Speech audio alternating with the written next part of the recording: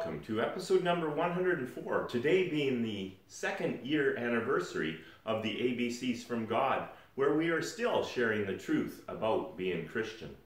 Today's show is entitled A Sinner's Paradise. In last week's episode, we shared the secret to a longer life. If you're new to our channel, welcome and please join the conversation in the comments section following the video. To make a financial donation, please go to my description below for the business Inquiries email. And thank you in advance for supporting us to share the truth about being Christian. Today's title, A Sinner's Paradise, is not just from a movie from 1938. It is a world that liberals, Democrats, RINOs, a world that they are currently trying to create. And why is this? because they do not believe in God, the creator and ruler of this world and the next world.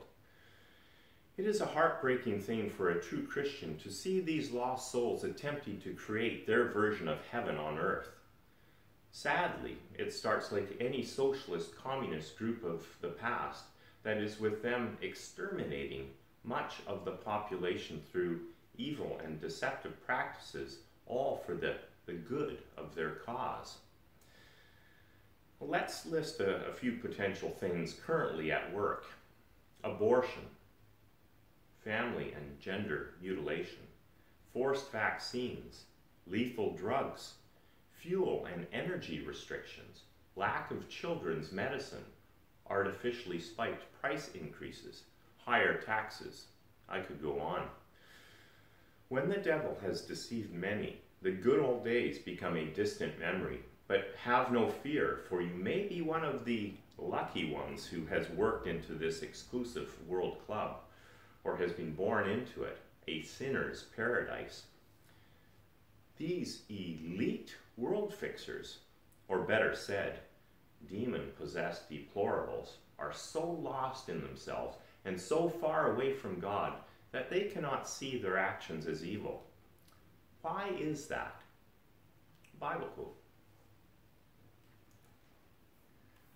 From the book of Isaiah, chapter 29, verses 14 to 16. Because of this, I will once again astound these hypocrites with amazing wonders. The wisdom of the wise will pass away, and the intelligence of the intelligent will disappear.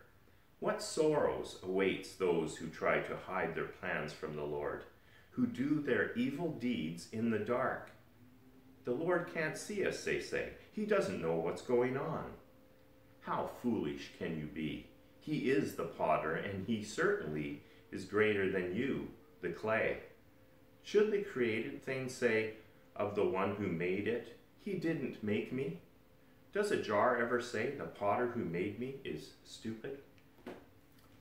So their evil actions cannot be seen because in their sins, God has taken away their intelligence and their wisdom, and what is left but an upside down, dark world. Can you see these people in action right now? What can the godly person do? Bible quote. From the book of Ephesians, chapter 5, verses 11 and 13. Take no part in the worthless deeds of evil and darkness. Instead, expose them but their evil intentions will be exposed when the light shines on them. And how should we act? Listen to Ephesians 5, verses 18 to 20.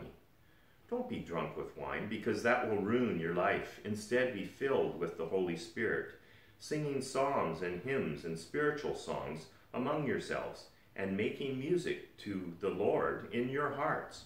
And give thanks for everything to God the Father in the name of our Lord Jesus Christ. My friend, if you have been with the wrong crowd, you need to wise up and connect with a Bible led church. Here, you will develop new friends and truly engage yourself in the real life. Did you just wake up? Are you beginning to see the light? Is God reaching into your heart for the first time? Whoever you are and whatever you have done, if you sincerely confess your sins to God, He will forgive you. Join into His loving family today. Bible quote. from the book of John, chapter 3, verses 20 and 21. All who do evil hate the light and refuse to go near it. For fear their sins will be exposed. But those who do what is right come to the light so others can see that they are doing what God wants. Let's pray. Dear Father in heaven, thank you for giving us the light, the forgiving light of Jesus Christ who died to erase all of our sins.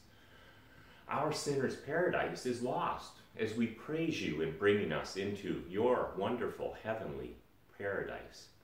We now have life in you, Lord, and each of us is a new person, honestly turning from all sin. We are reborn to trust and follow you from this day forwards. Amen. Well, please join with me for next week's show entitled Turn Off Your Phone and Get a Life.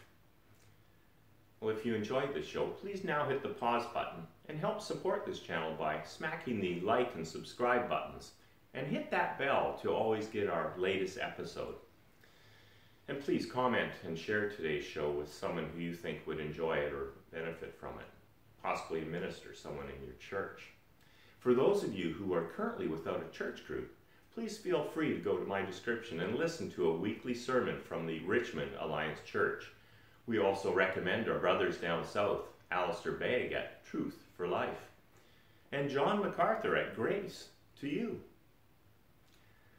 Well, if you've just come to Jesus Christ or have been following him for a while, begin or keep up your daily habit of reading the Holy Bible. Be part of a Bible based church and join with my friends and I in sharing God's truths, his ABCs about being Christian. God bless.